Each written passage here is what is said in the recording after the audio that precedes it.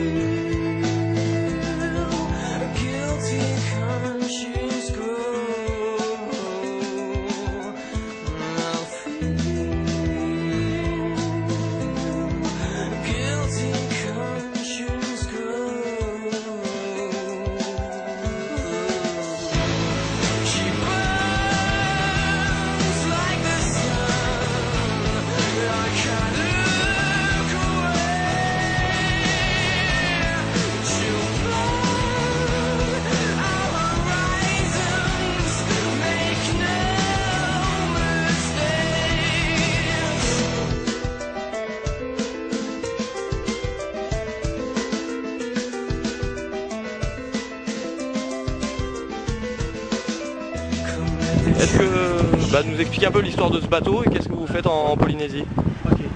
Euh, était le, record du monde pour un bateau à, bateau à moteur. On, a acheté le bateau euh, il y a un an. Alors le but c'était dans la zone euh, antarctique, c'est-à-dire sud de 60 degrés sud, euh, empêcher les, les harponneurs japonais, les baleiniers japonais, les japonais à, chasser euh. On a réussi à les intercepter très tôt dans la saison.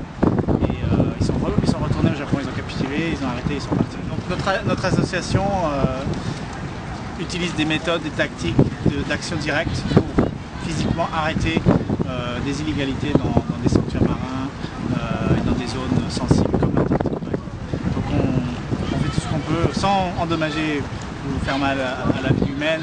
On- ça, on, ne traverse pas cette ligne-là, mais on, utilise des ta- tactiques assez agressives pour, pour arrêter des illégalités. Par exemple, la à, la baleine qui est illégale depuis 1986. Il y a un moratorium mondial depuis 1986. Effec- effectivement, on a perdu le bateau l'année dernière et euh, c'est sûr que c'est assez intense hein, ce, qui se passe euh, en Antarctique chaque année. Donc on a fait un peu plus, on a fait attention avec ce bateau-là, mais il a été très utile euh, pour nous et on a réussi à arrêter plusieurs harponneurs. Je crois que les Japonais ont, ont arrêté leur campagne Voilà. de- contre les baleines. C'est lié à vos interventions? C'est dû à nos interventions. C'est vous qui c'est Sea Shepherd qui a fait arrêter les. Ils ont décidé ça date quand? Le 9 février quand on les a trouvés.